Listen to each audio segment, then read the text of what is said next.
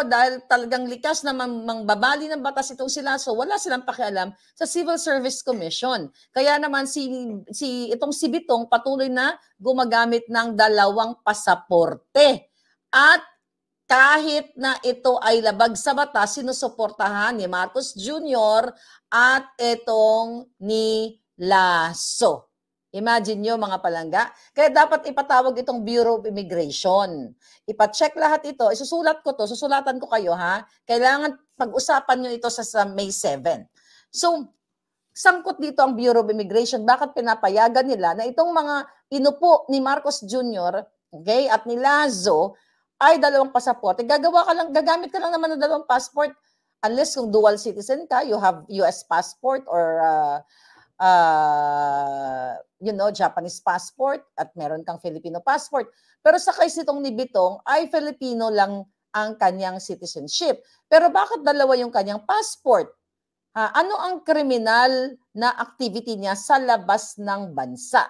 Kasi napag-alaman natin mga kababayan, ay nagsubmit pala siya noong 1999 ng uh, affidavit okay, sa Philippine uh, sa DFA na kung saan yung kanyang passport, okay, yung kanyang passport na Imiterio Bitong, right? Imiterio Bitong at Ramil Bitong, sinabi niya na ay iisang tao lamang. So, definitely, during that time, 1999, kung nag-submit ka na mamili ka kung Imiterio ang gusto mo o kung Ramil ang gusto mo, So na-approve naman. The problem is gumagamit pa rin siya ng dalawang pasaporte. Pag lumalabas siya at makikita sa record sa immigration as early o as late as 2006, 'di ba? 1999 sinabi niya na ang, ang Aramil at ang uh, Imiterio ay iisa lamang na katauhan. Pero in 2006, ayon sa ating PA ay merong record sa immigration na dalawang pasaporte ay ginagamit nitong taong ito. So, ang ibig sabihin, lumalabag siya sa batas. Ano ang issue niya? Ano ang, ang purpose niya? Bakit dalawang passport kapag nagta-travel siya abroad at hindi pa niya dinideclare na siya ay, ito, lalo na ngayon, ito, hindi dinideclare na siya ay taga-PDEA. So, bakit niya hindi dinideclare? Kasi nga, ang nakikita natin, dahil hindi siya uh, nakapasa o na na ano siya na disapprove yung kanyang appointment ng civil service. So para safe, isa 'yun sa mga dahilan. Kaya diyan dinideclare. Alright? Kasi bakit natin to pinag-uusapan? Eh, di ba kina-question nila si Morales na kaya siya daw ito i-dismiss? Di ba sinisira nila, kina-character assassinate nila si Morales? Pero ito palang si Bitong ay disapprove ang appointment pero pinoprotektahan ni Lazo. Bakit itong Lazo na to, kung napanood yung hearing nung April 30, ay grabe ang pagtira ng pagtira kay uh, Morales. Yun nga, sinisira na ito, nilabas pa niya yung personal data sheet. Pero ito palang kasabwat niya. Okay? Itong kasabwat niyang si Bitong ay nagmani uh, ah, no, no, naglumabag sa batas sa paggamit ng dalawang passport. So see that? Maricel, we love you. Si Daddy Dolphy mo, tiyak papayuhan ka ng tama for the people of the Philippines. Ayaw namin na ang mga anak at apo namin ay masira ang kinabukasan. Ikaw na lang at iba pang may pagmamahal sa bayan ay ililigtas nyo ang bayan. Matagal na nga di umano raw nakikipaglaban si PIDEA Agent Morales sa mga protektor ng pulburon. Kaya ang kredibilidad nito upang husgahan si The Junior na pangag ay pinaniniwalaan nga natural ng publiko. Buwis buhay at bihira nga lang ang mga ganitong klaseng opisyal ng gobyerno na kaso nga lang tila pinaalis na lang sa posisyon dahil nga lang may nakita itong panigurado ikakasira ng pulpolitiko. Pero ngayon, hindi na nga maawat si Morales at suportado pa siya ng taong bayan. At bago nga tayo magpatuloy for today's video, i-hit mo na agad yung like button para sa mga susunod pang ibabalita. By the way, here's your Chikabe updates. At kung hindi ka pa nga nakapag-subscribe, isubscribe na yan. Ito na ating uh, pasabog. Uh, mga kababayan, may pinost ako sa ating uh, Facebook sa Boljakan, sa ating Facebook account, na kung saan, okay, mm-hmm, um, bigla ko nakita si Attorney Glenn Chong. Shoutout kay Attorney Glenn Chong. Okay, Pangulong Bangag, babagsak maya-maya. All right. So, uh, mga kababayan, mga palangga, mga pinalangga. Okay. So, pinost ko at uh, may mga nag-send kasi sa akin na, di ba, ang uh, Congress at ang mga kaalyado ni Kuting ay pilit na kinaka sinisira si Morales, si uh, former agent Morales. Pero ni-research natin at may marami nag-send sa atin na ito pa lang si former age, PIDEA agent Morales ay mahigit isang dekada na na nakikipaglaban talaga sa katiwalian o sa hindi magandang pamamalakad ng PIDEA. So during uh, 10 years ago, ay talagang makikita mo na nakikipaglaban na si PIDEA agent sa mga protektor ng polboron o yung mga malalaking sindikato. Kaya yung credibility niya, ina i ano niya, na i-marka niya ng bonggang-bongga na hindi lang siya ngayon nagsalita dahil what? Kinokonek siya kung kani-kanino Kinukonek siya kay Pangulong Duterte at sinasabi ito ay gawa-gawa para i-destabilize ang gobyerno. Ulitin natin, ang nagde-destabilize sa gobyernong ito, walang iba kung di mismo si Pulboronic Bangag Marcos Jr.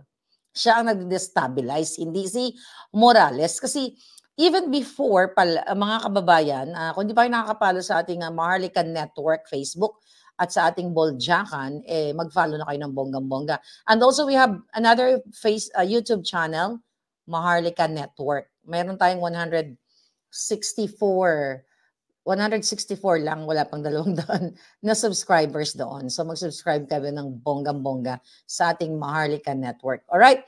So anyway, balikan natin ito si Mr. Uh, Morales. So 10 years ago ay talaga nakikipagbakbaka na siya at ini-interview siya ng mainstream media kaliwat kanan, GMA, uh, uh, ABS-CBN, temo. Ayan, GMA, ABS-CBN, ANC, at kung ano-ano pang mga uh, mainstream media. Kaya nga sabi ko, bakit noon lahat ng media, ini-interview si Morales doon sa fight niya back in Noy Noy time, 'di ba? Ini-interview siya ng media uh, tungkol dito sa katiwalian sa PDEA o yung mga nire-raise ng issue nga sa pamunuan ng PDEA noon pa. So, in-interview naman siya ng mga journalist, pero bakit ngayon walang gustong mag-interview sa kanya? Although ang SMNI na-interview siya at dito nagpa-interview siya sa atin unang-una, 'di ba? So malinaw na it's either takot itong mga mainstream media kay Marcos Jr. o kay Lisa o nasungal-ngalan na yung mga bunganga nila ng payola. So, ngayon, ang topic natin today is dahil parating na ang, ang uh, two days ago, two days na lang ano.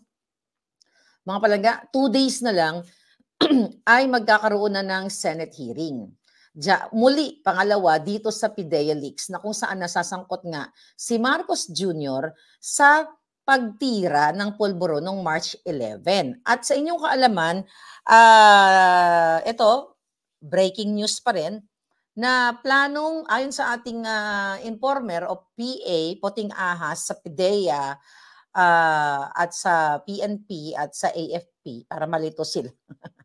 Litong-lito na mga jotang genimes, di ba?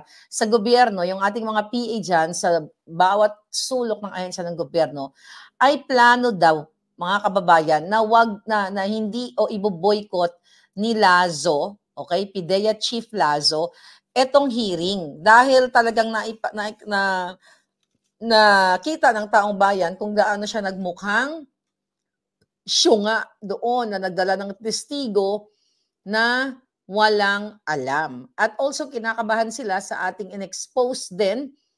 Actually, isusulatan ko ang uh, Senate. Okay, isusulatan natin ng Senate na isama nila ang investigasyon, ang Blue uh, ang uh, Committee on Public Order under kay uh, Senator Bato na isama niya sa investigation yung questionabling uh, dalawang passport na ginagamit ni Imiterio Bitong o Ramil Bitong. All right? Dalawa kasi yung pangalan niya. Okay. All right. So ngayon mga palangga, So yan ang ang ang, ang gagawin ang ano natin, okay? All right. So ngayon yan ang isa sa mga uh, dapat okay, dapat na gawin ng committee o committee sa May 7. Kasi mga kababayan, okay?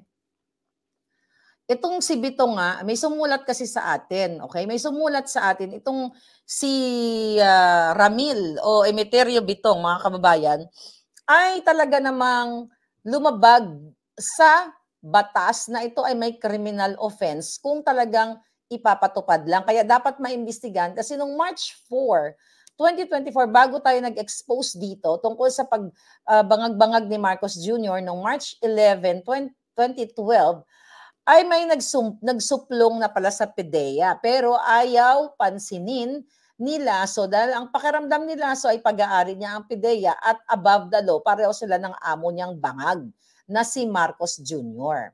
So dito sa, sa ano na to mga palangga, sa information na ito, na gumagamit nga ng fake births, uh, you know, gumamit, ang, ang istorya pala nito ni Bitong, okay? Tandaan nyo, si Bitong at si Lasso ay taga-takip ni Marcos Jr. sa kanyang pagpupulburon. Okay?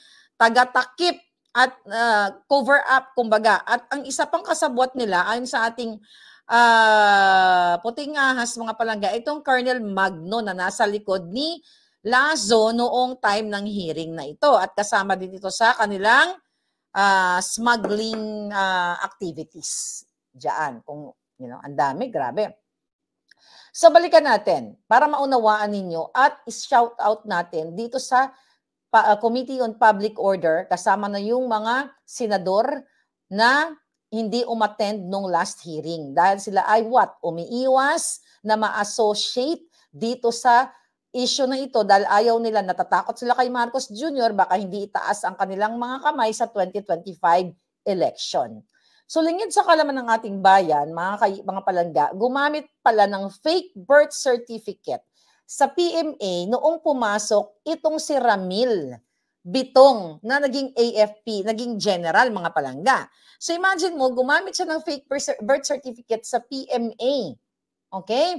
Pero ang nakalagay sa kanyang birth certificate nung ipinanganak siya ay Emiterio Bitong. Okay? Emiterio pati sa Civil Service Commission, sa record niya, siya ay what? Ramil. Okay? Gamit niya, ay, ginag, alam niyo, yung ginagamit niya yung ibang identity. Alright? So, kaya ito daw, mga, mga palangga, ang isa sa kadahilanan na na-disapprove yung kanyang uh, attest, attest, attestation or yung kanyang appointment na gusto siyang ilagay ni uh, Lazo as what? As Director 3. Di ba? Dahil nga dito sa mga issue na ito. Pero dahil talagang likas na mangbabali ng batas itong sila, so wala silang pakialam sa Civil Service Commission. Kaya naman si, si itong si Bitong patuloy na gumagamit ng dalawang pasaporte. At kahit na ito ay labag sa batas, sinusuportahan ni Marcos Jr. at itong ni Lasso.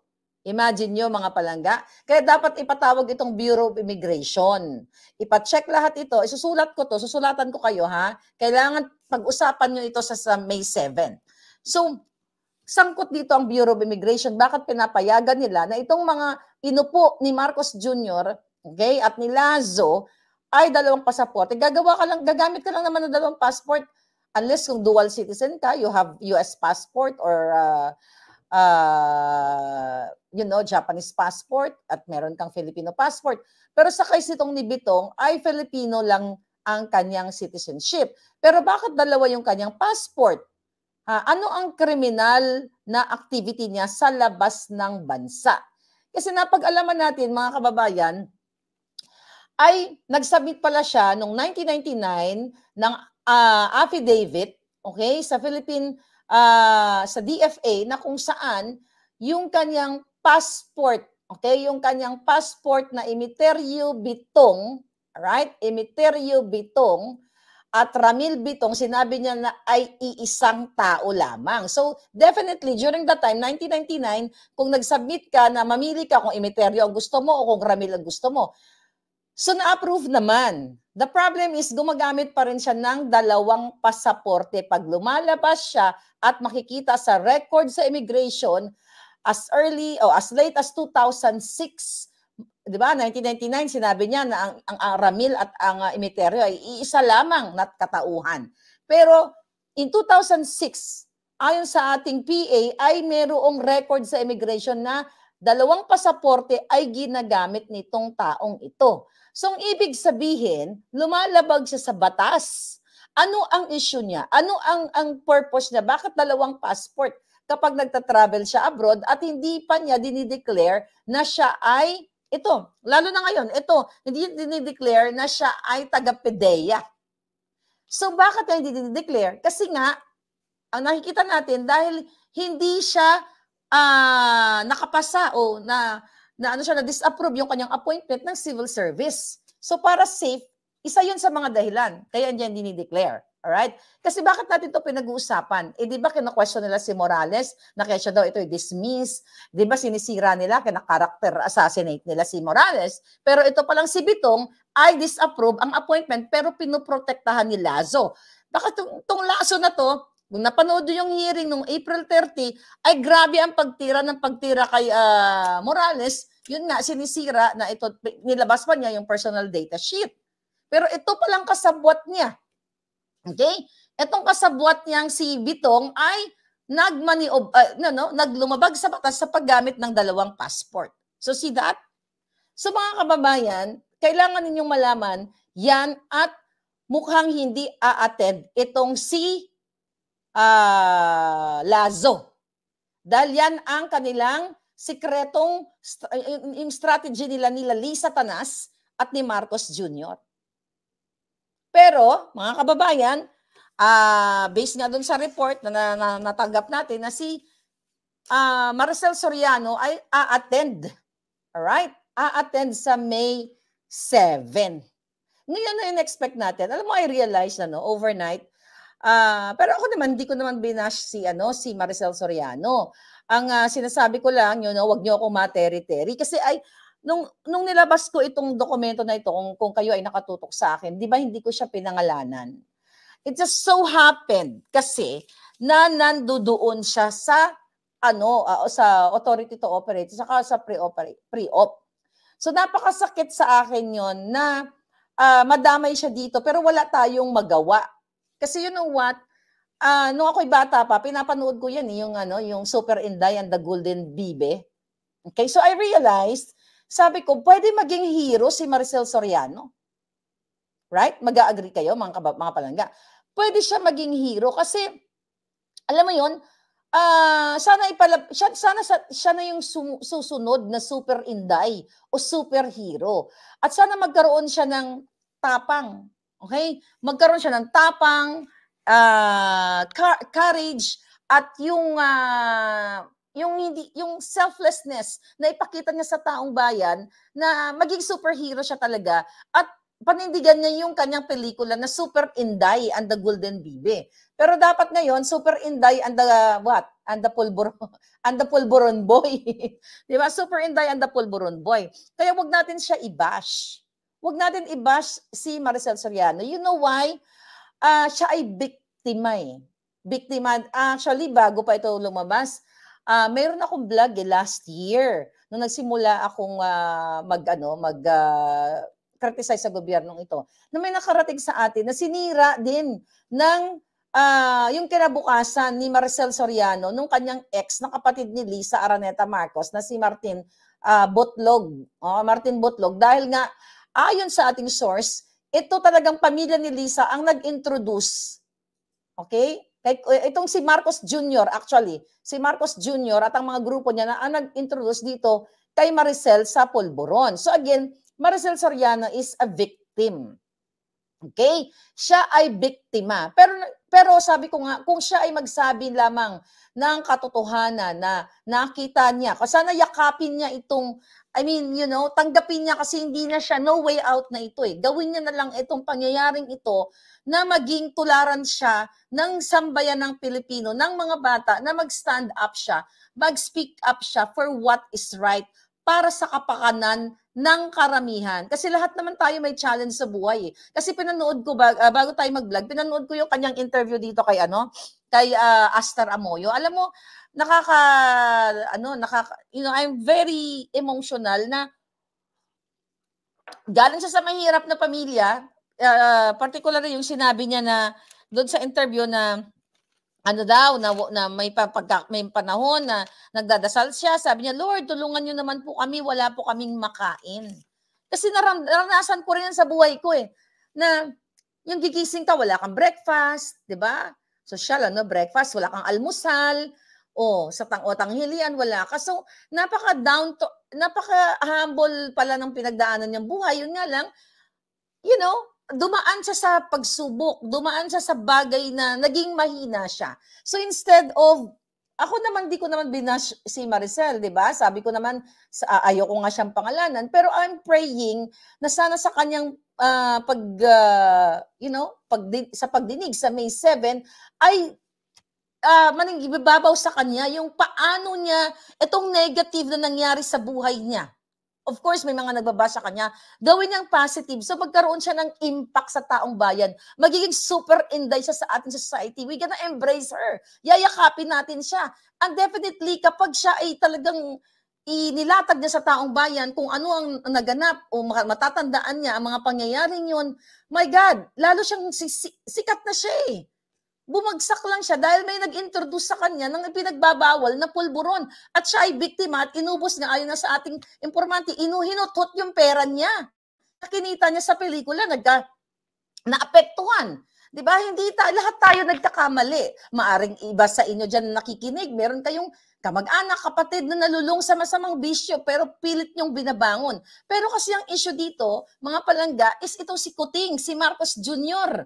Okay na hindi nagbabago sa halip nagnanakaw pa. So si Maricel, si Maricel, baka sabi ko nga, siya na yung magiging super inday talaga. Di ba? Meron tayong inday, tapos siya another super inday as a hero na makikilala ng uh, magigising ang taong bayan at you know, mailalagay muli siya sa history ng Pilipinas na may isang artista na nalubog man siya sa masamang bisyo pero bumangon siya at ipinakita niya sa taong bayan, tinanggap niya yung pagkakamali siya niya then magiging inspirasyon magiging inspirasyon siya ng kabataan na nalulung sa oh, mga mga showbiz, mga personalities na ngayon maaring sila ay na nagdudurog-durog at baka maging uh, advocate pa si uh, Marcel Soriano dito sa pangyayari yun. Kasi naniniwala tayo lahat ng pangyayari sa buhay whether negative man ito, you know, may mga blessing in disguise na natatamo ang bawat tao na nakakaranas no, involved. Kasi malay ba ni Marcel na mauungkat pa ito? Eh mismo nga si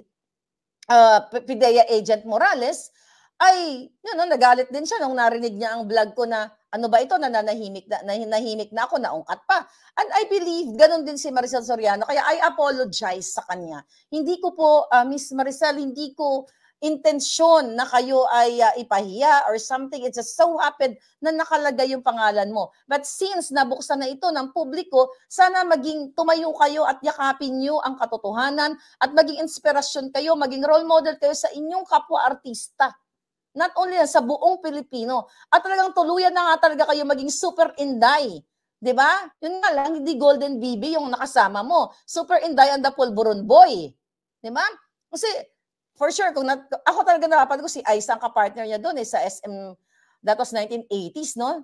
Uh, high school. I think sa SM North EDSA pa kami nanood noon nung pala, ng, ng palabas na yon. At saka sa artista, wala akong uh, ano, inahangaan natin yan, si Maricel. Inahangaan natin siya ng bonggang-bongga. So kaya sabi ko, habang, sabi ko, what if kaya panindigan ni Marcel na magiging superhero talaga siya para sa taong bayan? Di ba? Yung super, yung power niya, kasi nalugmok siya. Tapos napanood ko si kay Sir Amoyo na di ba nagba-vlog siya. And let's support her. Yung vlogging niya, lalo natin palakasin. Maging instrumento siya. Di ba? Iba na ngayon eh. Noon ang mga artista, pag hindi kinuha, pag hindi malakas kay director o sa sa you know sa mga film uh, owner what do you call it yung mga uh, let's say mga advertising agency or uh, mga uh, film production, pag hindi ka malakas o hindi ka nagpa-chok-chak chenes, hindi ka bibigyan ng pelikula. Pero ngayon, sa panahon ngayon, Miss Norisa Soriano, I'm so happy for you kasi nakabalik ka sa vlogging at you can make money out of it kapag ikaw ay naging superhero ng taong bayan, lalo kang you know, mamahalin ng Pilipino at ilalagay ka namin sa pedestal. Islatag mo lang ang katotohanan. Walang, I mean, nalugmok man tayo, nalugmok ka man sa ganitong, ganong issue sa buhay. Kailangan mo lang sabihin sa taong bayan kung ano yung naganap nung March 11 na yon, kung basikuting ay talagang suminghot ng pulburon. Kasi ang ang ano ang ang issue dito is 100 something million Filipinos. Super inday. Ipakita mo yung superpowers mo. I know, mga celebrity, mga director, mga uh, from different sector, they will love you more and more. Yun ang nakikita ko and we will pray for her na ligtas din siya and I hope may mga kaibigan siya na talagang gagabayan din siya dahil napaka, sabi ko nga, may, may this, ano yun, may, maybe this is God's intervention. Di ba? Na like ako, hindi ko naman nakalain na mapunta ako sa ganitong klasing ano, klaseng sitwasyon na gin, natin ang presidenteng bangag. It's the same thing with Miss Marcel Soriano na gamitin niya yung kanyang superpower. Yes, you have, may superpower ka as a celebrity, as an influencer.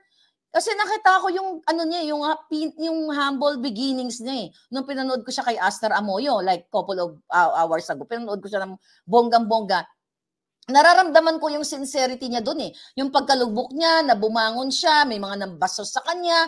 And I know, may mga may picture 'di ba tayo nung namatay? Sino ba yung namatay recently? Uh, was it Basta may nakita ako na si Maricel, what is it uh, not FPJ ano? Sino yung namatay na yon? I forgot. Basta anyway, doon sa Lamay, nagkita sila ni ano ni Lisa, ni Lisa Tanas, tapos inisnab-isnab siya. I think maybe this is your moment Okay? To tell your story. Kung, di ba? Kung, kung ano ang nangyari. Hmm. Si ano yung ano yun palangga? Anong anong anong yun? Sino natsugi doon? Ah, Jacqueline Jose. Oh yeah, thank you. Thank you uh, palangga. Si Tyne, Tien. Oh, thank you. So na di, Jacqueline Jose ba 'yun? Parang hindi. Oo, parang last. But anyway, whoever, kung sino man 'yun. So nakita ko yung ano na 'yon, yung inisnab-isnab ka ni Lisa. I think uh, this is your time. I think inadya ka ng Diyos kung bakit nangyari mga ito. Baka nga mapanindigan mo yung tinataw yung pelikula mo na Super Inday, 'di ba? Super Maria. Kasi ano ba yung pelikula na yun? 'Di ba tagapagligtas siya? Tama ba? Tagapagligtas siya doon eh. Hero siya doon eh. Uh, ang nire-represent nung ano na yon, ng pelikula na yon, kung naalala ko, about yung love mo sa pa- pamilya mo, yung pag-ibig mo sa family mo. So it's like isa buhay natin. Maging hero ka sa isang bayang Pilipino. We are 100 something million Filipinos. Imagine mo kung noon minahal ka ng taong bayan doon sa Super Inday and the Golden uh, Bibi na yon, mamahalin at mamahalin ka ng taong bayan. Lalablabin ka nila ng bonggang-bongga. We will love you more. Kasi etong gagawin mo, ibig sabihin, inaano mo, uh, iniisip mo na ang gagawin mong pagsabi ng katotohanan, you know what, ang pagsabi ng katotohanan, isang patriotism yan. Isang pagiging bayani kung ikaw ay nagsasabi ng katotohanan. Diba? Malaki ang maitutulong mo sa buong Pilipinas. Kasi, Miss Maricel, alam ko na nag-suffer ka. Maraming mga Pilipinong nag-suffer dahil sa pulburon. Okay? Ito lang ang presidente natin ang hindi nag-suffer sa pulburon. Kasi nilalapastangan nila yung batas at nakasabwat nila lahat para hindi matuloy yung raid na yun noong March 11, 2012. So I hope kayo na, kayo na po ang magiging superhero ng, ng Pilipino. Ilabas na natin na kung ano talaga ang nangyari. Kung nagkamali man kayo, this is your time para makapag-contribute ka ng uh, positive sa ating bayan kasi hindi maganda yung mga nababasa natin. Kasi wag na natin siya, ako, nag-a-appeal ako sa nga palangga, wag natin siyang i-bash dahil siya ay nalubog sa masamang bisyo. Hindi dapat iangat natin siya kasi bumangon siya eh. Bumalik siya. 'Di ba? Nakabalik na siya may mga show-show yata siya, may mga pelikula na siya. Hindi ba mas gusto natin yung nalumog, nalubog gaman pero bumangon siya. Pero itong presidente, na lumubog siya dun sa kanyang issue sa pulburo na yon in, sa in the past. In 2012 pero ang pina imbis na bumangon siya at iahon niya tayo dahil presidente siya lalo niya tayong nilulubog. Kasi kasabwat sila sa man, pag manufacture ng pulburon. Smuggling bribery lahat na. Eh Maricel Soriano is what? Wala namang ginawang, wala naman siyang ninakaw sa taong bayan. Nasira lang yung kabuhayan niya dahil nalulung siya sa anuman yung, uh, you know, na, sa anumang challenges ng buhay niya. Right? So I think, sabi ko nga, I hope ipagdasal natin na bigyan siya ng wisdom para sabihin niya kasi ang laki po ng magiging impact ng presentation ni uh, ng uh, presence ng presence ni Maricel sa May 7. At pwede siya maging advocate. Pwede siya maging speaker, pwede siya pumunta sa Pwede siya maging speaker ng TED Talk o speaker sa buong kung saan man. 'Di ba? I-educate niya yung tao, ang taong bayan kung mga artista na kapwa niya, ano bang mapapala mo dito? Ano bang naidulot sa buhay mo? Kasi ang alam lang natin sa kanya, kikay siya, komedyante, da da da da. I think it's okay to tell your story kung ano yung pain, ano yung mga sufferings mo para mas ma-learn ng taong bayan kung ano yung pinagdaanan niya. Kasi doon sa interview, sabi niya, sa interview with uh, Aster Amoyo, ang sabi niya, ayaw daw niyang makita siya na umiiyak siya na malaman ng tao, ng tao yung kanyang pain kasi ang alam lang ng tao is happy siya. No, I think, you know, kailangan din malaman ng bayan kasi pag na, na, na, na ano mo yun eh, na-express mo. Actually, na-express na na eh, nung wala siyang pagkain, pagising sa umaga, wala daw walang breakfast, tapos sasabihin niya sa mga kapatid niya, matulog na lang ulit tayo. Da, you know, yung ganun pinagdadaanan, nakaka-relate tayo eh. Dahil marami sa inyo din nakaranas ng ganong klaseng buhay. Kaya I think he, I think she's a good person. By watching that, she's a good person na nawala lang siya sa uh, direksyon. Ganon talaga. There's no perfect life in this world. Pero at least pag may mga challenges na ganon, eh tapangan niya yung sarili niya at talagang sana nga I am looking forward na maging advocate siya nitong uh, pulburo na ito o advocate siya for whatever, you know, ang magandang maidulot sa Pilipinas, sa sa taong bayan at i-educate niya yung ano, yung uh, tao, ang uh, mga ka, mga kapwa niya artista. But again, as a celebrity, as a vlogger now na nagba-vlog siya. So, 'di ba minamahal natin yung mga taong uh, role model. So, wala na tayong pag-asa kay Marcos Jr. Ayaw nga umamin eh. Walang pinagsasab wala nga ngayon eh. Walang wala siyang ginagawa kundi mag-vlog-vlog siya ng mga tungkol sa papagkapagkain. May vlog ngayon si Kuting about paano daw ipagmalaki yung mga pagkain nating mga Pilipino. Pero yung pulburon, nakalimutan niyang isama. So I think, ang asahan na lang natin kay uh, Miss Marcel Soriano, ay maging uh, role model siya ng taong bagan, maging super inday ka. Just tell the truth and nothing but the truth and people will love you. Kami, sabi ko nga, kami ang mga hurado. Kami ang iyong audience. Kami ang tagapanood. Kung sinuportahan ka ng inyong mga fans in the past, 50 years ago, 40 years, 30 years ago, ay iba sa kanila, buhay pa, like ako. buhay pa ako ng bongga-bongga. We will love you more. We will support you kung ano man, pelikula, vlog. Basta just tell the truth para sa taong bayan. At bibigyan ka for sure. Maraming mga mga NGO organizations na kukuha sa iyo as a speaker, mamahalin ka. Talagang yun ang nakikita ko eh. Basta iyakapin niya lang tong, I mean, uh, i-accept niya itong uh, pangyayari sa kanya na hindi niya inasahan na lalabas ngayong panahon na to. Wala rin naman ako intention kasi na madamay siya dito. It just so happened na nandoon nga siya sa pre-op and the authority to op to operate nung gabing yon na dapat i-raid ni Mr. Morales si Marcos Jr. na siya ay sumisingot-singot. So, importante ito dahil nakasalalay ang kinabukasan ng taong bayan. Si Miss Marcel Soriano, pwede natin siyang yakapin ng bonggang-bongga dahil wala po siyang ninakaw sa pera ng bayan. Wala naman sinan, dinadala si Marcel Soriano na mga pulboroni katulad ni Kuting sinasama pa sa kanilang mga travel, 'di ba? Wala silang ginugurgur na wala si walang walang ginugurgur si Maricel, walang walang inaapi at kung ano-ano pa wala. Siya ay biktima at sana malaman natin ang kwento niya, no? I hope maka-interview natin siya kung papayag siya. Sana malaman ng ng uh, uh, taong bayan kung ano yung you know, yung pinagdaanan niya during that time, depende 'yon sa kanyang revelation sa May 7, di ba? Kasi ano eh, makaka-relate talaga tayo lalo na yung may mga pamilyang nalubog ang kanilang mga anak, lalo yung mga OFW, dito sa ipinagbabawal o masamang bisyo. We'll just take it positively. Di ba? Kaya sabi ko, huwag niyo ako materi-teri. Sana nga lumabas siya ng bonggang-bongga at magsabi siya sa taong bayan kung ano talaga para makakontribute siya at magising ang taong, ang magising niya, ma-aware. And definitely, magipanalo ang bayan dito. Once na inilatag ni Miss Maricel Soriano ang lahat ng mga bagay-bagay kung ano ang nakita niya. It's not about, it's, huwag tayo mag-expect about, ano, uh, kasi actually hindi si, si Maricel ang subject dito. Ikwento niya lang kung ano nakita niya, kung ano yung totoong nakita niya nung March 11 na dapat i-raid yung kanyang bahay. Kasi yung bahay niya, yung 46C, na-confirm niya doon sa article na nagkaroon siya ng problema sa kanyang mga domestic help, uh, domestic helpers, sa kanyang mga helper. So na-clear yun eh.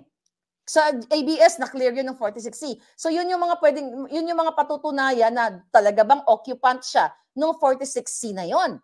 At kung totoo ba talagang guilty itong si Marcos Jr. 'Di ba? At kung let's say for example, sinabi ni Marcel na tinanong siya, kunyari ako yung ako si Senator Bato. Uh, Miss Maricel Soriano, ayon sa report dito sa pre-op na to, uh, totoo ba na si Marcos Jr. ay nandoon sa iyong condo unit at sumisinghot ng ipinagbabawal na white powdery substance at hindi gawgaw, hindi asin, hindi eh, arena o pulburon, di ba? Pag sinagot ni Maricel ng, ng bonggang-bongga, yes, Your Honor. Nung gabing yon March 11, uh, kasama ko po, nandoon po ako sa sa condo unit ko kasama pang ibang mga ka, ka, ja, ka inuman or something kung ano man ang ginagawa ninyo. Yes, kitang-kita ko po si Ferdinand Marcos Bongbong Marcos Jr. na sumisinghot ng pulboron. So kapag na, na, na, nanumpa siya doon, kasi masusumpa siya sa, sa Senado eh, di ba?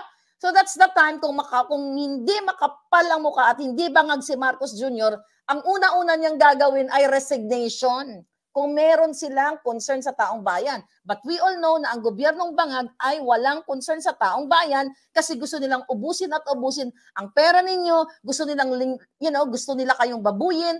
Tignan nyo na lang yung 1.8 kilograms na, ay 1.8 tons na polboron na pinoprotektahan nila ang driver at ayaw nila ilabas ang pangalan doon sa mugshot, ayaw nila ilabas yung mukha, pero si Morale at sa protektado with bulletproof at kung ano-ano pang mga security pero yung uh, import, in, what you call it, yung uh, dating PIDEA agent na nalingkod bayan, walang proteksyon. 'Di ba? So dapat kung mayroong mayroong hiya si Marcos Jr. but definitely walang hiya kapag bangag ka. Hindi ka nakakaramdam ng bangag.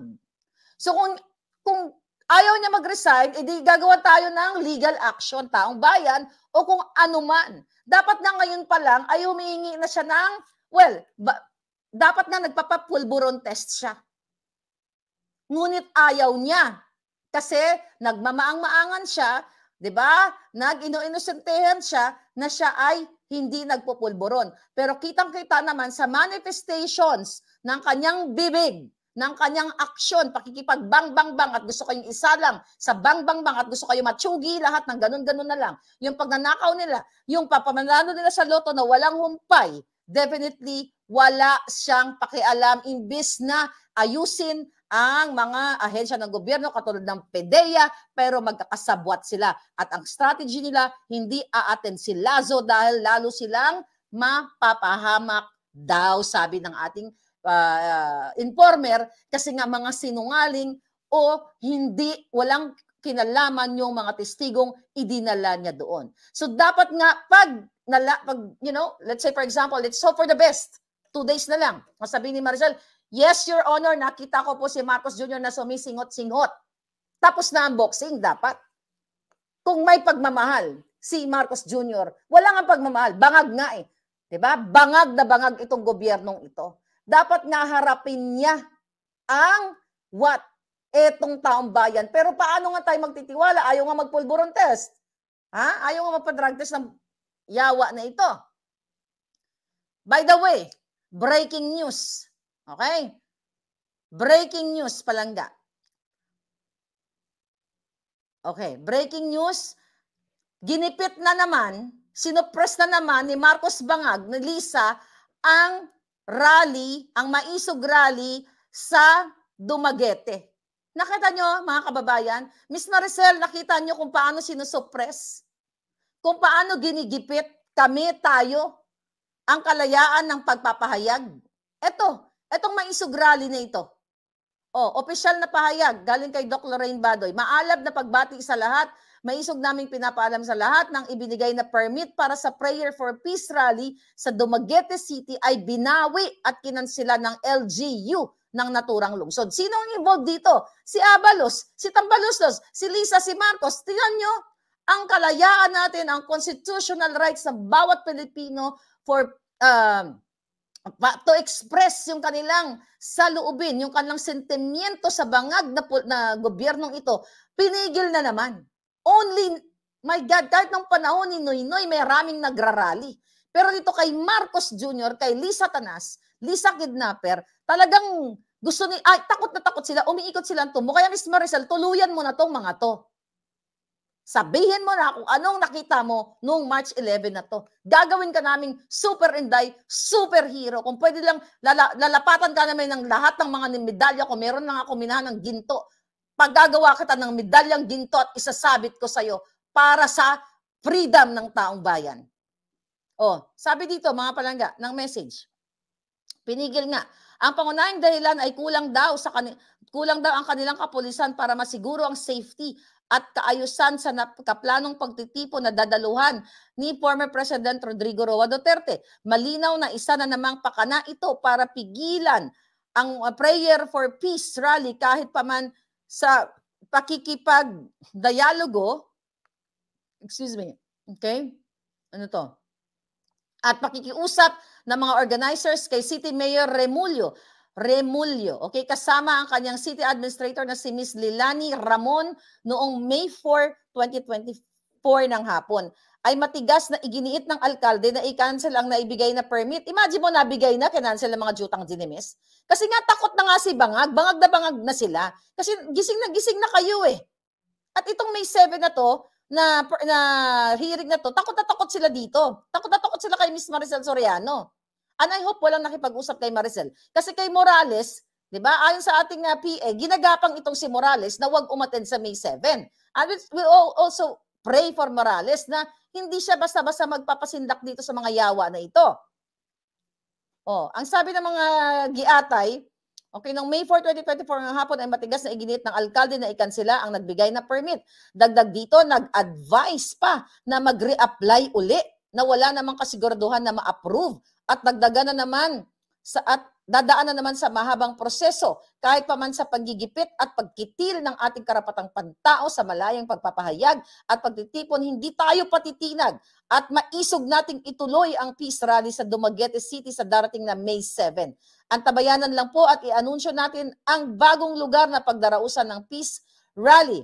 Sulong mga maisog, ituloy ang peace rally sa Dumaguete City. Mabuhay ang Pilipinas galing sa TAPS TAPS organizers Dumaguete City. Ayan. So nakita nyo? Mm. Baka ma- may interruption. Oh, merong uh, update. Meron mo mayroong ng interruption sa ano na uh, power interruption. But again, mga palangga, ano bang ginagawa ni Maharlika dito? Ano bang ginagawa niyo? Bakit nandyan kayo? Ano bang dapat ang gawin ni Maricel Soriano? Di ba kailangan i-aware natin ang taong bayan? Dahil ang pagsas, pagmalayang pamama, sabi ko, ito na nga lang yung power natin, yung nga bells natin. Gusto pang supilin, gusto pang sikilin nitong bangag na presidente. And I hope si uh, Super Inday ay magiging kabahagi natin dito sa ating pangarap na magkaroon ng wa, in, bang, wag magkaroon ng bangag na presidente. Sana maging katuwang natin siya kasi peaceful protest ito eh. Malaya na, nasa konstitusyon ito, malayang pamamahayag, malayang pagtitipon dahil gusto mong ihayag ang iyong mga hinaing sa jutang Jenimes na bangag na presidente o bangag na gobyerno. So kita niyo ginagawa nila, panggigipit lahat. And I hope itong TAPS, yung mga magagaling na abogado, you know, gawa ng ano to, legal action, kung sila ay mga nalabag sa batas, dapat kasuhan din ng mga jutang Jenimes na ito dahil ito ay pag kitil sa ating freedom of speech, mga kababayan. Di ba? Nakita nyo kung gaano sila kabagal at takot na takot sila sa ating uh, pagtitipon-tipon. Dahil sinusuportahan natin ang boses ng bayan. Kaya kailangan natin maging maisog. Dahil gugurgurin lahat tayo dito. Even ang ibang military, men and women in uniform, mga general, di ba? Pina-floating sila. Tinatanggal sila sa trabaho dahil bangag nga ang presidente ninyo at ang asawa niyang first kidnapper. Anong ginagawa niyo mga sir, mga ma'am? Bulag ba kayo?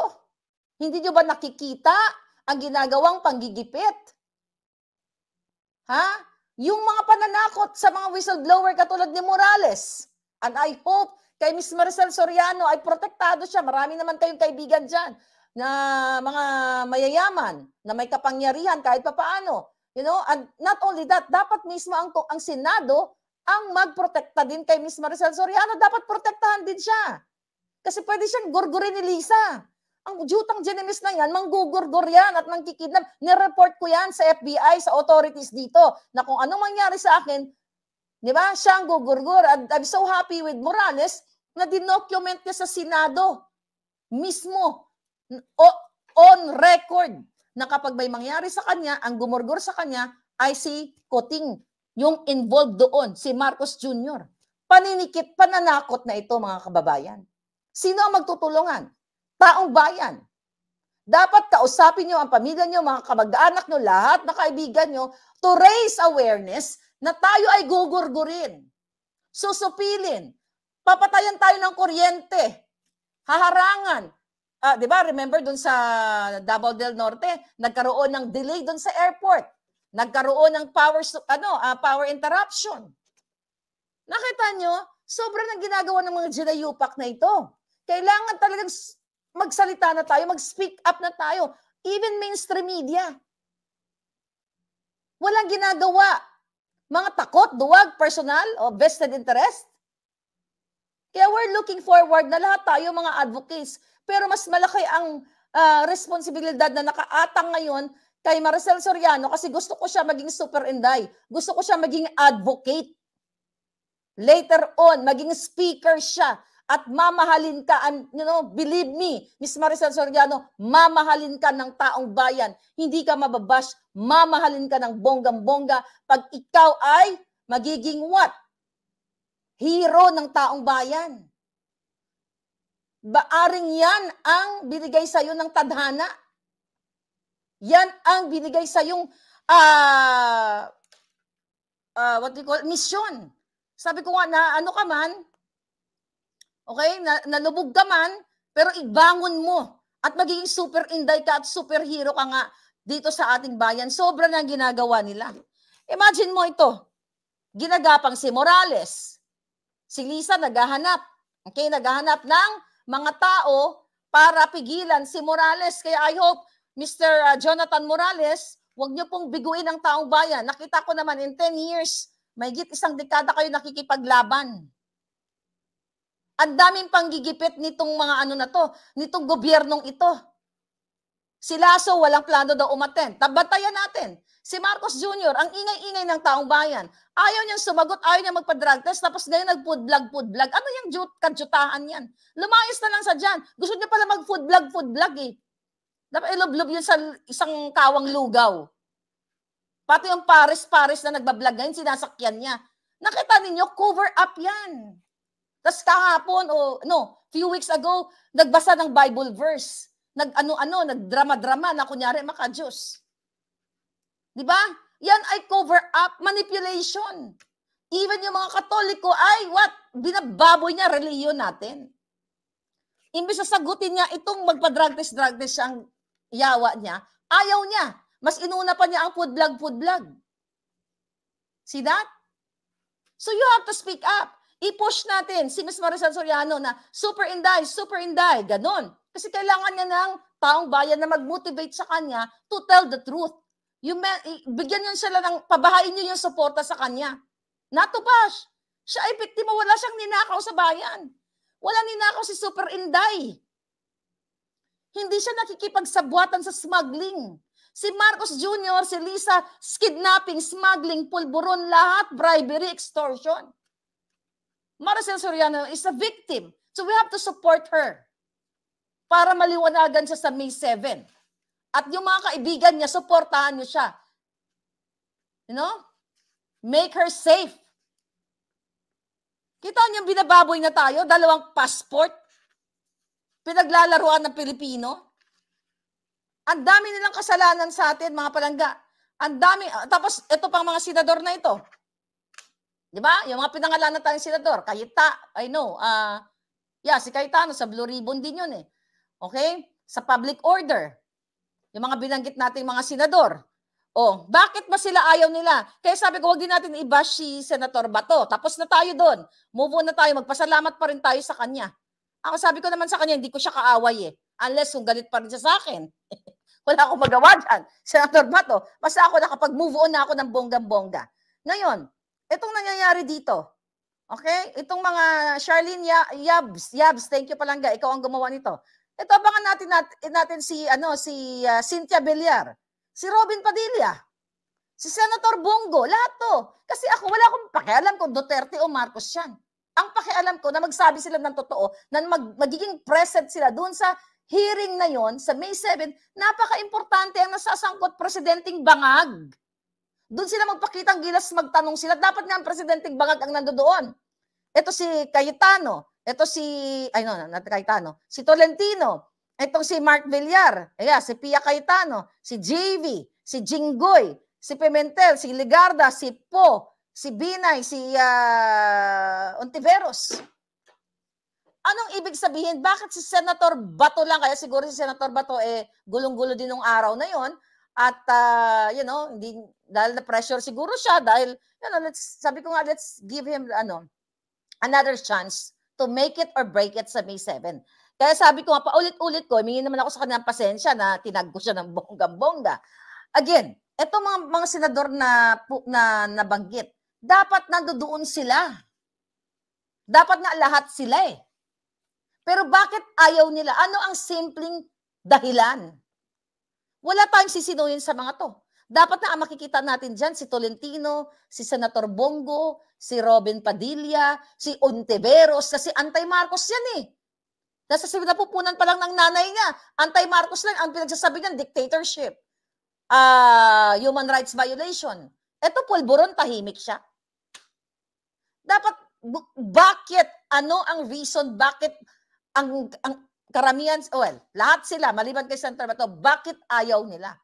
Ayaw nila ma-associate sa issue na iniimbestigahan si Marcos Jr. na bangag kasi takot sila you know, na hindi maitaas ang kamay nila sa 2025. Kung kayo ay talagang mahal ng tao, hindi na kailangan itaas ng isang bangag ang inyong mga kamay kasi mawawala na si bangag sa 2025. Yan ang itaga nyo sa inyong mga juta. Matatanggal si bangag. So walang magtataas ng kamay nyo. Ha? Si Marlica magtataas ng kamay nyo. Ayawa to mga ito.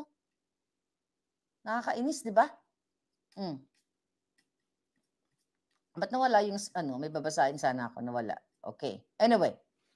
So yun, mga, mga kababayan. So umiiwas sila. Kasi what? Political agenda. Political interest. Ayaw nila pumunta doon sa hearing na yon kasi gusto nilang iwasan. Dahil takot sila, parang katulad ni Lasso, na baka daw hindi pumunta sa May 7. Oh.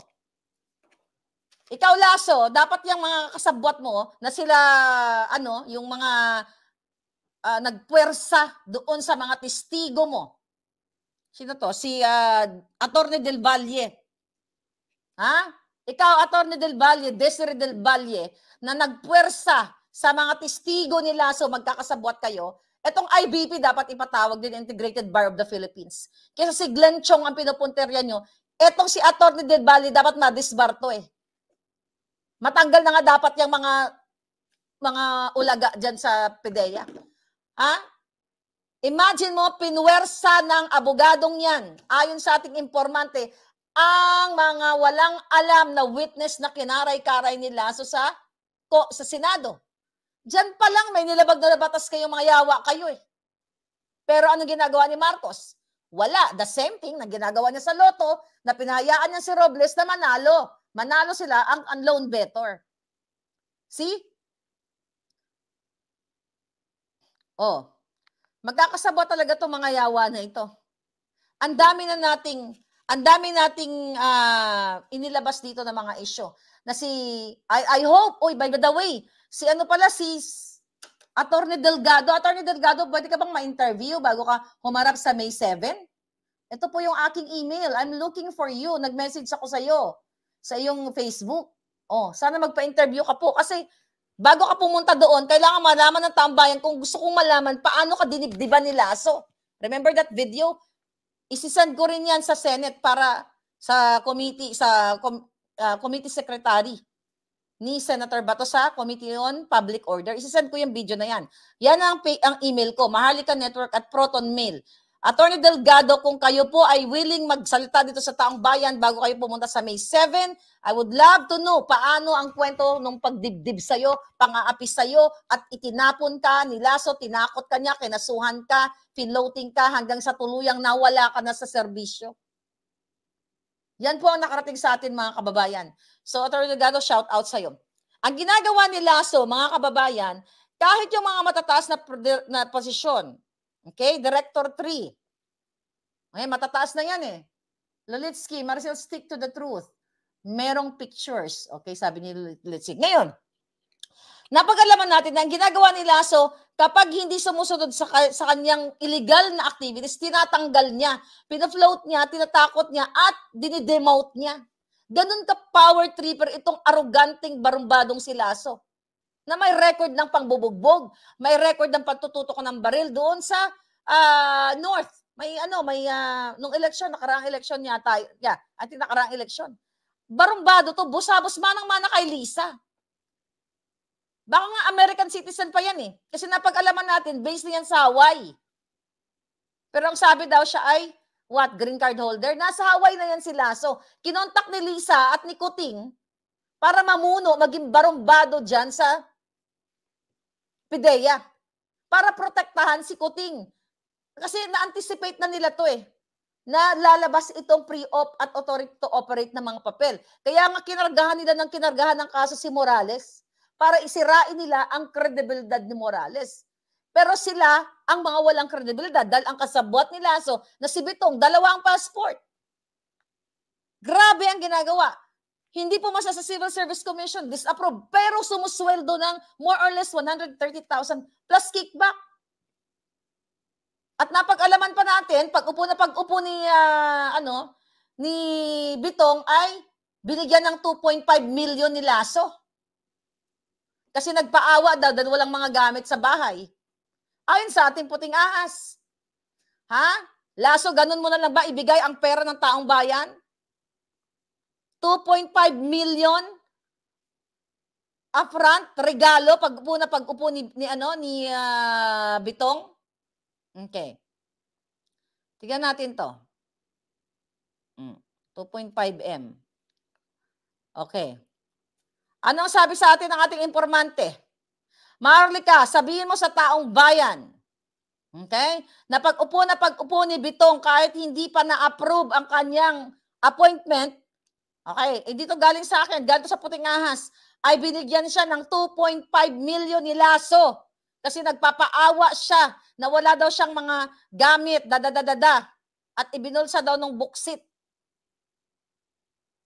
Okay? Hindi ka pa nakakaupo, Lasso sagutin mo to. Kayo sa PIDEA, mag-speak up kayo. Gaano katotoo na itong dalawa ang passport na si Bitong at hindi aprobado sa Civil Service Commission, hindi pa nakaupo, ayon sa ating source ay binigyan daw ng 2.5 million. Ganon na lang ibigay ang pera ng taong bayan. Kaya pa si Marcos Jr. mula sa Hawaii ay pinaupo dyan sa PDEA itong aroganting si Lasso para pagtakpan ang pagiging bangag-bangag niya. Kaya ang pag-asa natin nga, again, si Maricel Soriano na maging super inday. Ilatag mo Miss Maricel, ang iyong uh, ang katotohanan. Katotohanan lang. Hindi ka matatalo dito. Sa katotohanan ka lang mag-stick. Okay? Naalala nyo kung gaano ka walang hiya itong pamuna nila. So, kung kayo nakatutok, di ba, mayroong namatay na uh, PIDEA agent na si Alvin Yaptangko na pinatapon nila sa Mindoro. Remember that? Na inutusan Okay, nila, okay? Okay, mga palangga. Kung naalala ninyo, itong binabanggit kong pangalan, ha, na si Yap Tangko na namatayan, batang-bata pa yan. Okay? Batang-bata pa yan siya. Inutusan siyang bumili ng bulaklak ng Galvan. Okay? Nung Marla Galvan. Wala naman binigay na pera. Tapos nung walang nabiling bulaklak, si Yap Tangko, tinapon nila sa Mindoro, yun lang. Ganun kabarambado yung chilalaso na yan, mga kababayan. Tinapon sa Mindoro, ay taga Maynila, nawala, nahiwalay sa pamilya. So naapektuhan, na-depress, inatake sa puso. So indirectly, kayo ang naggurgur sa tao na nagtatrabaho lamang. Tapos itong galvan na ito ay what? Umupo bilang uh, what? Hawak ang finance para maniobrahin nyo ang pera ng bayan, magkakasabwat kayo lahat. Pero dahil nga bangag si Kuting, okay? Ito magkakasabwat sila Colonel Magno, nandoon sa Senate hearing, ang tagabuyo dito kay Lasso. Marami kayo silang ginugurgor na buhay na kinabukasan ng bayan, ay kinabukasan ng mga tao, pinapatapon sa bundok ng hibok-hibok. Dahil malakas ang loob ni Lasso, dahil ang kanya ang nagpaupo sa kanya isang bangag na presidente at kailangan ni Marcos Jr. na pagtakpan ay, ni, ni Marcos Jr. ang katulad ni Lasso para pagtakpan siya at sasabihin AI ang authority to op at yung pre-op mga kababayan. Ganito naka, nakaka, ang paglubog Nalulubog na kayo sa kumunoy. Walang pakialam ang jutang Ginimis. Tignan mo yung first lady yung cute daw. Kasing cute ng ano, ng ahas sa kumunoy.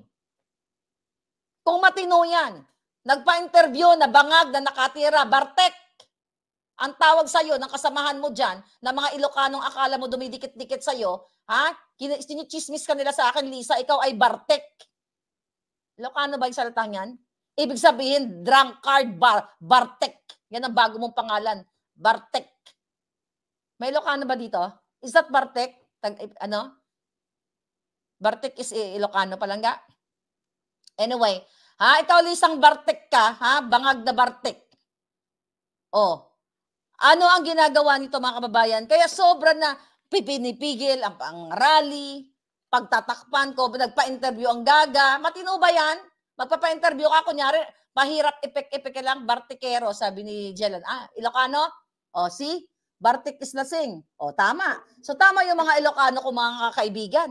Miss Marlica, ang tawag namin dyan, mga Bartik. Ayan, Lisa.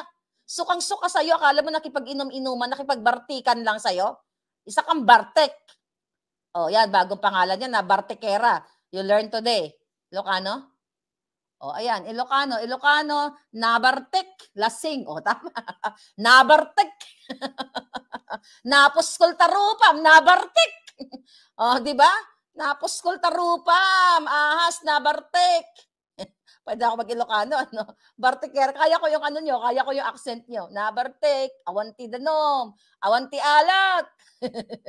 anyway, you have to know, see, these people na nagbibigay sa atin information, kabartikan gaga. Oh. So sobrang sobrang ano, sobrang uh, ano, sobrang ang pagigipit na sa inyo. So we're looking forward na si Miss Maricel Soriano talaga ay mag-speak up na para sa Pilipino. Alam nyo, ang buhay ng tao, hindi mo alam kung ano yung magiging kapalaran mo eh. Pwede siyang tanghaling hero ng bayan. Bartek tabutod! sabi ni Palanga, I love that. Oh. Siya nagsabi ni nun. Sabi ni Romantic Monta, Bartek tabutod! Ilonggo, tsaka ano yan, tsaka uh, Ilonggo at tsaka Ilocano. Ayan, tabartek tabutod. Tapos kolta ropam, kiatay, ayan. Pati si Buano magkasama na. Okay, yan ang tawag sa kanya ng mga Ilocano, ha? Group, ha? Kita mo, sinasubong ka sa akin. Ito yung mga taong sa likod mo. Tandaan mo, Bartek. Ay, nako, Bartekera daw. O, yan. Bago yan, hashtag Bartek Lisa. Awen apo. Oh, nabartik tabutod. Ay, alam mo, sana matuto ako magsalta ng Ilocano para Bartekerin ko si ano, si Marcos Jr. Ay, nako. Anyway, um, ako, aapil ako sa inyo uh, hingi tayo ng ano ng pasensya kay Miss Maricel Soriano kasi hindi naman ako hindi ko siya Hindi, akalain ko ba na nakalagay yung pangalan niya doon? But we have to support her by prayers, yung kanyang mga, narinig tayo ng mga yan, yung kanyang mga kaibigan. Sana po talagang uh, ligtas siya. Sana nga Senado eh. Senado. Narinig tayo ni Senator Bato ngayon. May, ta- may tagabasa nga doon sa text. Eh. Nang tinag nabasa niya eh. Actually, nung sinabi ko, ang, ang uh, ano yun, yung commit, uh, committee, uh, COMSEC Committee Secretary, nang nabablog ako na binadala nila ako ng letter to attend the May 7, ang nilagay nila, Boljakera lang. Sabi ko, ano ba yan? Gawin nyo naman yung mag-research naman kayo, lagay nyo naman yung tamang pangalan ko, legal name ko ng bonggang-bongga. So actually, right after the vlog natin, inedit nila. Binago na. So they're listening to us. At uh, COMSEC, Senator Bato, kayo dyan lahat ng mga senador na kinag i-forward ko sa inyo ang video kung paano mangharas si Lasso at ang iba pang mga complaint. So you have to do your job. Fake pa yung Gmail, sabi ni Kerry. Oo nga, isa pa yun eh. Kaya sabi ko, yung, yung email, hindi man lang public domain o government, di ba, .gov, .ph. Wala, ang daming palpa. Kaya gusto kong palitan na natin lahat yung mga bartek dyan. Di ba? Kung pwede nang palitan natin yan. Pero pray natin si Super Inday Maricel. Sana maibalik niya yung, ano niya, yung kanyang kinang. Kasi nang bata siya, mag, you know. Actually, wala, wala akong galit sa kanya. Pinapanood ko mga pelikula niya eh. Okay, lahat naman halos sa pin, pin, pelikula ng mga yan, pinapanood natin, Nora, Vilma, Noranian kaya. anyway, uh, yes mga palangga. So tomorrow we have, kasi may na-receive akong expose, pero bukas na yon mawiwindang kayo. Bukas, may panibago na namang expose si Marlica kasi ito yung nagiging result kapag sukang-suka na yung mga taong nakapaligid dito sa mga bartek sa mga bangag at bartek. Ayan, magpartner sila. Bangag, lab, bartek. magpartner na, hindi na butod, barto. Butod pa rin. Ang butod, malaki ang tiyan. Di ba? Ang bartek, sabi ng aking mga palanggang Ilocano dyan, ay lasinggera. Mamartek nga bakit. Mamartek nga bakit. Okay, pre-ordered pulburon. Anyway, uh, sa panghuling salita, we are looking forward for Miss Maricel Soriano na siya po ay magsabi ng katotohanan. Sabihin niya lang, na nakita niya si Marcos Jr. na suminghot, tapos na boxing. Let the people decide kung ano ang inyong pagkilos. Kung tatahimik ba kayo, mag, magbabartik-bartikan ba kayo, it's up to you. It's your future. It's, you know, sabi ko nga, andito na ako sa Amerika eh. Kung magtaas man ang bilihin dyan, kung mag, tatlo singko man ang pulburon dyan, eh, hindi ako maapektuhan. Although dito din, Diyos ko, nagkalat din ang mga bartek dito. At tumari nga ito nagsabat-saring reaksyon mula sa mundo ng social media. Komento na nga lang din ng mga netizens sa naging isyong ito. Kung sino pa ang may kapangyarihan, mayaman, sila pa yung gumagawa ng labag sa kalooban ng Diyos. Nakakaiyak at nakakagalit ng sinapit ng Pilipinas ngayon. Kung pinaghirapang ayusin ni Duterte, wala, nasira lang uli. Senador, magtulong-tulong kayo, huwag kayong matakot. Isalba ang taong bayan. Maawa kayo, gutom na. At sa naging isyong ito, ano ang iyong naging reaksyon? Maghimalaya magbigay ng kanilang personal na opinion sa comment section. Anyways, for more Chikabe updates, don't forget to like and subscribe!